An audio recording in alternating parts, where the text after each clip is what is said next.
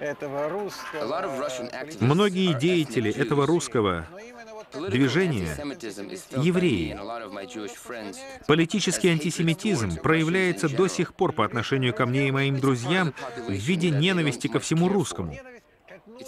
Это часть населения, которая никого здесь не интересует. Вот я так это чувствую. Самое последнее событие, которое произвело на нас особенно сильное впечатление, это то, что случилось в Эстонии, когда они снесли памятник. Они как будто плюнули в душу русским. Полиция напала на демонстрантов. Их арестовали, их согнали куда-то, их держали на полу со связанными руками.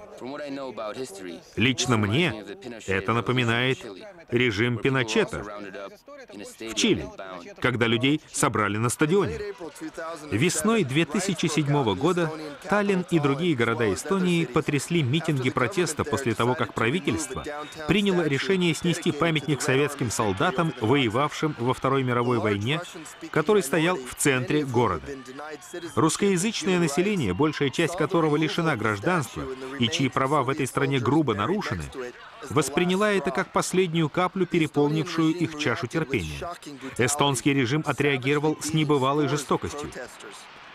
Протестующие были арестованы. Против них была выставлена вооруженная полиция. В результате один человек погиб, несколько получили ранения, сотни участников протестов были арестованы. Их содержали в условиях, которые напоминают не страну-члена ЕС, а диктаторский режим образца прошлого века. За всем этим было больно наблюдать, особенно на фоне заявлений Запада о соблюдении прав человека в этих странах. К сожалению, мы имеем дело с двойными стандартами. Когда речь идет о преобладании геополитических интересов ЕС над вопросами прав человека.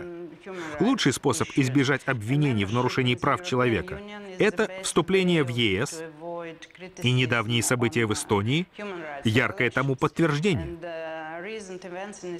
Особенно на фоне беспрецедентной жестокости полиции,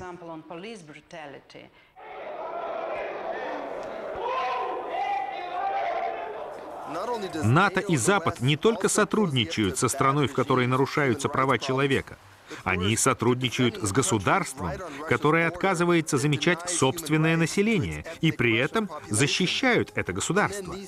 И эти же люди обвиняют Россию в агрессивности по отношению к Западу, в намерении напасть на своих соседей, называя ее осью зла? С точки зрения русских, это полнейшее безумие. Миф о том, что Россия стремится захватить мир и настроена агрессивно, по меньшей мере непонятен русским. Они считают, что как раз Запад настроен агрессивно, что именно Запад расширяет свое военное присутствие в соседних с Россией странах, поддерживает страны, которые нарушают права русскоязычного меньшинства, пытаясь выжить его со своей территории пытаясь навязать России свою политику. Во времена Холодной войны это объяснялось противостоянием двух противоборствующих систем. Сейчас, когда все или почти все можно решить путем переговоров, такая позиция не очень оправдана. Конфликты разрешимы, если мы хотя бы попробуем посмотреть на проблему с другой стороны.